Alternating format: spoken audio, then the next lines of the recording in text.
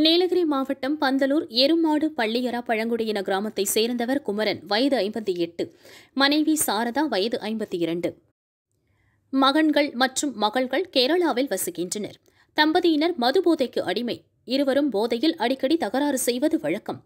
திங்கள் இரவு போதை தலைக்கேறிய நிலையில் இருவரும் சண்டை போட்டுக் கொண்டனர்.